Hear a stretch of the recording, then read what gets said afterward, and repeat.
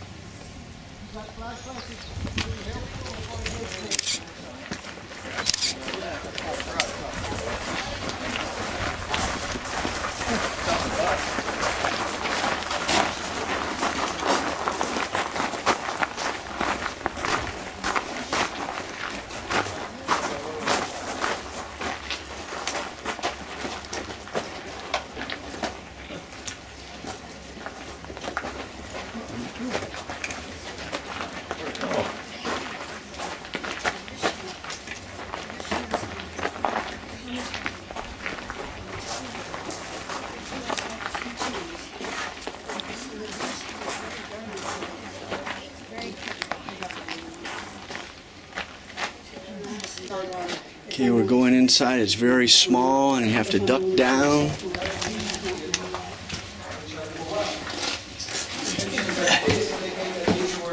I can't stand up, it's so small. It opens up into bigger place was looted already in antiquity. They didn't find many offerings, but the, the looters didn't care for the inscriptions and the bones. So they were found, but there's none of this today. If you see any inscription, it's a replica of the original. Ossuaries placed, here? No, they found mostly uh, niches to put bodies or big uh, bone boxes, sarcophagi, not, not so many ossuaries. They did find a few, but really, really just few. Most of it is uh, bone boxes.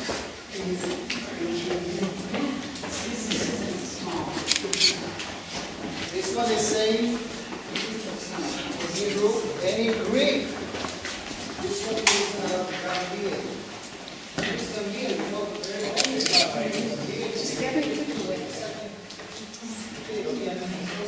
you.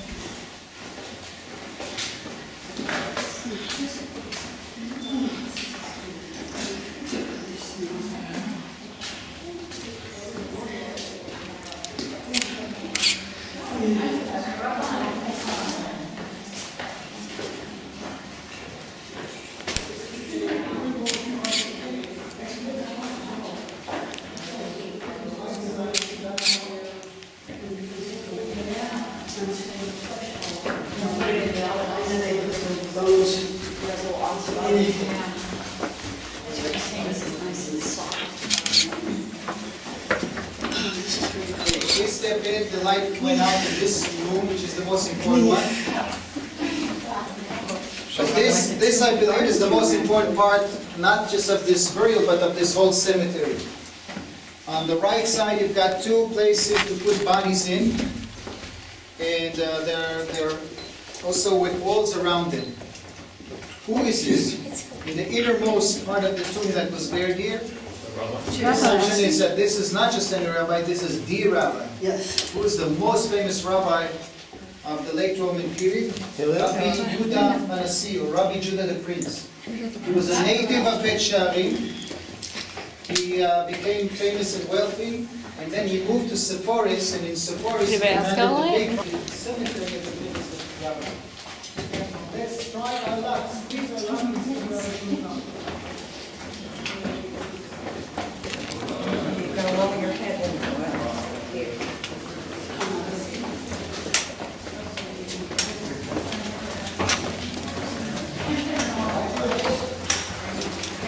Typical tomb carved out.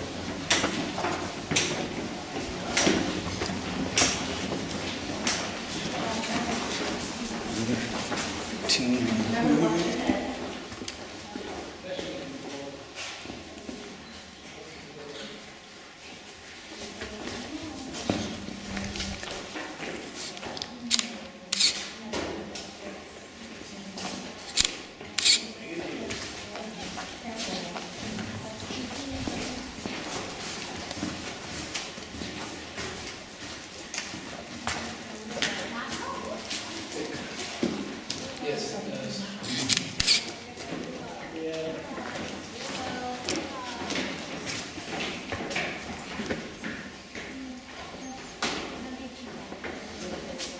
And we have to get back out here.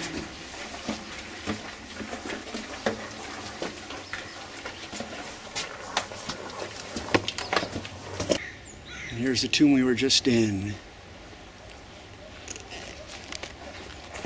And now we're heading back.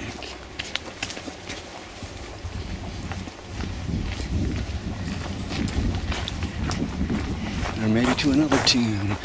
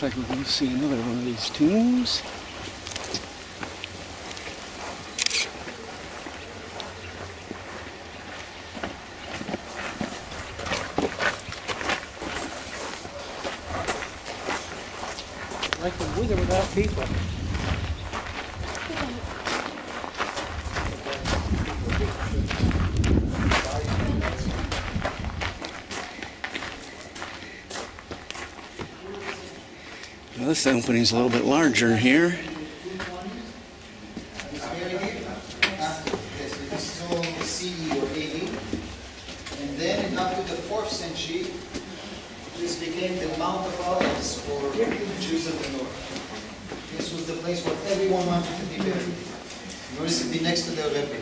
Isn't Judah Hanasi related to Kolah, his grandson or great grandson or something like that? He was uh, a descendant of Rabbi Hillel, maybe, God, I don't know. I Yeah. don't remember. Inside of the sarcophagus. I don't remember. Maybe. Please, uh, they're, they're soon gonna yell that we should leave, so go and explore the site as much as you can yourselves. Look for the inscriptions, the decorations. Feel the feeling that Sukeni probably had when he presented this place. When we were back at the bus, we tried to assess the influence, the nature, the culture of those people based on those finds.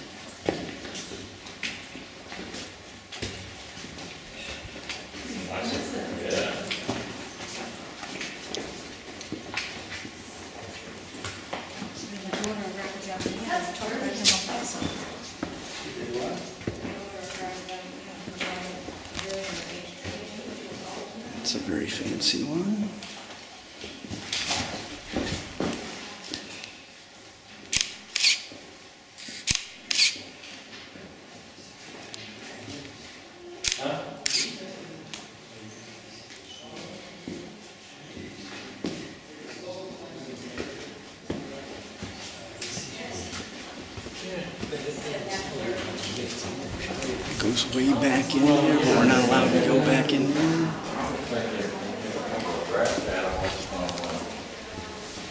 This fancy design on this one.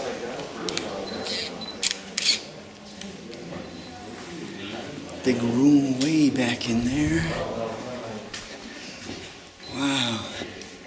This goes back further and further. Massive room here.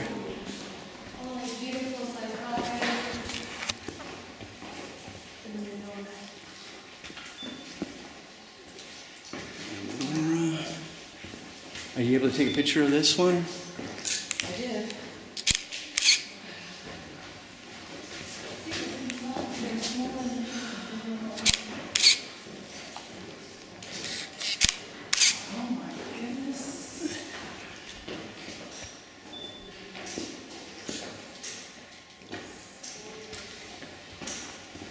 It looks like this part is empty.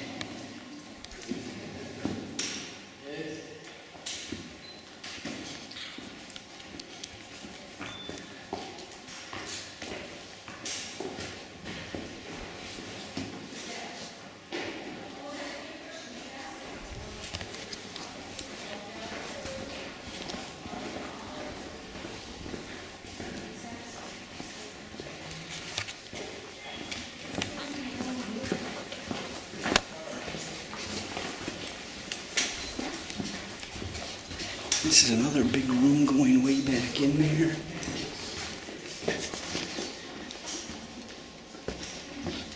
Fancy design on this one.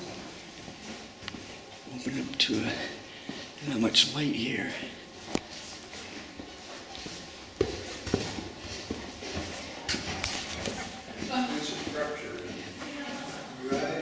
Another beautiful one here.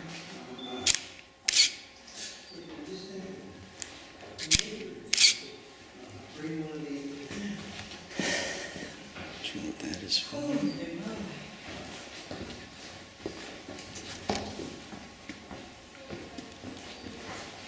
And we'll go back out.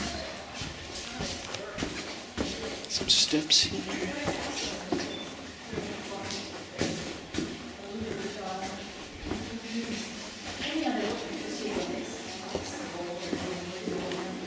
Another beautiful one right there.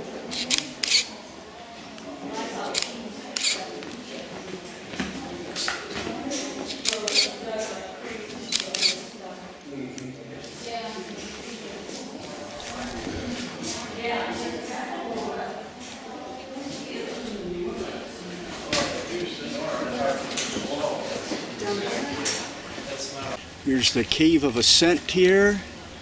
Go way down there. Got a good view right over here. You got a good shot. Good. Kind of figured that I was gonna. Boy, we look a lot exercise. Cave of Ascent.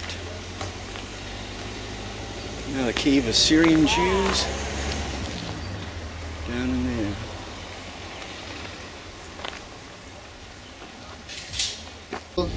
In the 5th century, for an unknown reason, it just ended. We think that maybe the Byzantine. Christian authorities uh, shut it down. For a while, therefore, the Sanhedrin was in Bet Shari. Here is a public building. Could this be the place of the Sanhedrin when it resided in Bet Shari? You cannot rule out that possibility.